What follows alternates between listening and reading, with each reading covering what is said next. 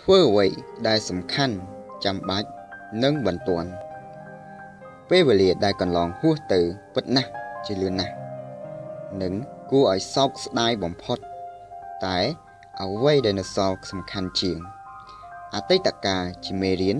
អនាគតជាសំណួរហើយបច្ចុប្បន្នជាដំណោះស្រាយ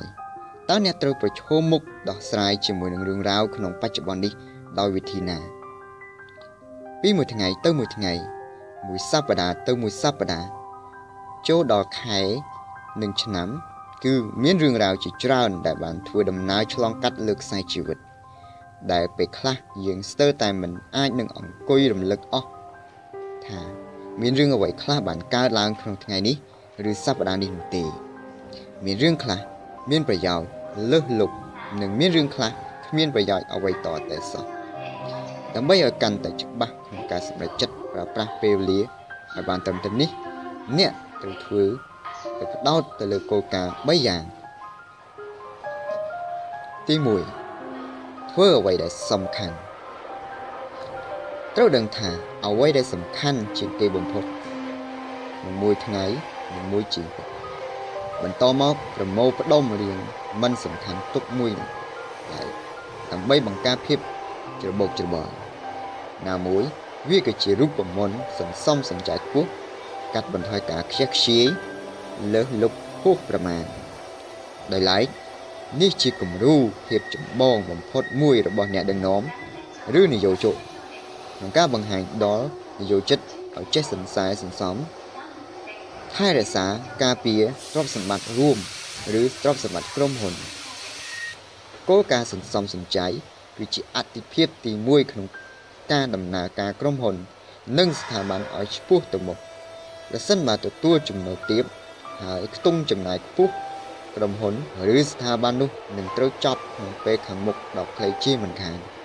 ដូច្នេះរឿងដែលសំខាន់រឿងដែលមិនសំខាន់កុំចំណាយទៅលើវាឲ្យសោះមិនថាពេលវេលា និងថវិកានោះទេម្យ៉ាងវិញទៀតនយោជិតទាំងអស់ នឹងយកតម្រាប់តាមអ្នកទី2ធ្វើអ្វីដែលចាំបាច់ក្រៅពីសំខាន់តើវាចាំបាច់ឬទេ Albert Einstein អ្នកប្រាជ្ញខាងរូបវិទ្យាដ៏ល្បីល្បាញមួយរូបដែលឃើញស្គាល់ថា ជាទូទៅគាត់ជាអ្នកបង្កើតទ្រឹស្ដីស្ដីអំពីទំនាក់ទំនងរវាងម៉ាស់និងធម្មពល គឺរូបមន្តល្បីល្បាញ E ស្មើ mc2 ដែលជាហេតុបង្កើតបាននៅអាវុធប្រឡាយលោកគឺនុយក្លេអ៊ែរគាត់ព្រួយបារម្ភជាខ្លាំងខ្លាចអាល្លឺម៉ង់បង្កើតអាវុធនេះបានមុននាំឲ្យអាល្លឺម៉ង់អាចគ្រប់គ្រងនិងត្រួតត្រាពិភពលោក សំខាន់ជាងនេះទៅទៀតដោយសារតែលោកជាអ្នកបានសរសេរលិខិតជំរុញឲ្យប្រធានាធិបតីអាមេរិក Franklin Roosevelt បង្កើតកម្មវិធីផលិតអាវុធ នុយក្លេអ៊ែរនេះហើយ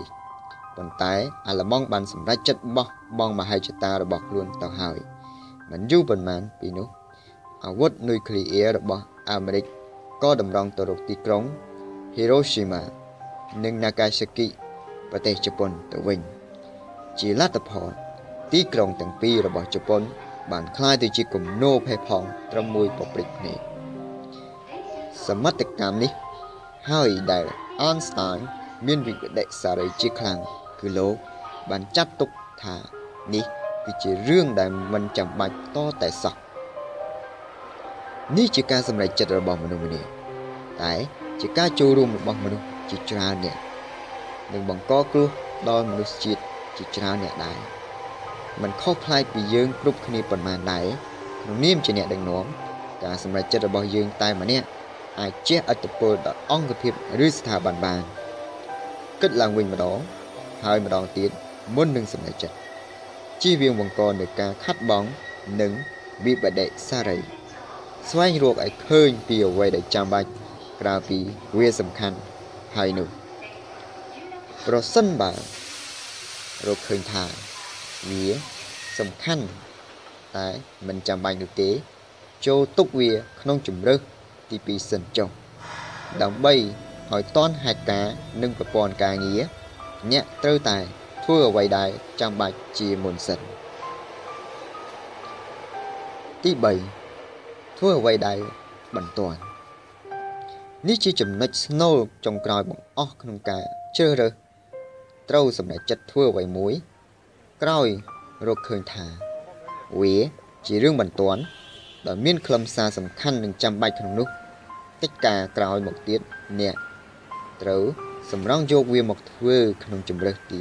1ដោយអនុវត្តតាមវិធីសាស្ត្រនិងយុទ្ធសាស្ត្រចរន្តការងារពេលវេលា មានកំណត់ទ្រព្យធនមានតម្លៃការប្រើប្រាស់និងចាយវាក៏ត្រូវឲ្យស័ក្តិសមទៅនឹងតម្លៃរបស់វាដែរបើអ្នករវល់តែចំណាយពេលទៅលើរឿងឥតប្រយោជន៍តើអ្នកមានពេលគ្រប់គ្រាន់មកពីណាបង្កើតស្នាដៃផលិតសមិទ្ធផល ជួយមនុស្សជាទីស្រឡាញ់ និងសង្គ្រោះមនុស្សទន់ខ្សោយការបែងចែកពេលវេលានិងសម្រេចចិត្តធ្វើអ្វីមួយត្រូវតែគិតក្រំនិងម៉ត់ចត់បន្តិចព្រោះវាកន្លងទៅហើយ គឺมันអាចវិលត្រឡប់ថយក្រោយវិញបានទេអ្នកមិនអាចទាញពេលវេលាដែលកន្លងហួសទៅ ហើយឲ្យដើរត្រឡប់ថយក្រោយវិញបានទេ អ្នកក៏មិនអាចរុញពេលវេលាឲ្យដើរលឿនទៅមុខបានដែរ អ្នកអាចត្រឹមតែប្រើប្រាស់ពេលវេលាក្នុងបច្ចុប្បន្ននេះតែប៉ុណ្ណោះ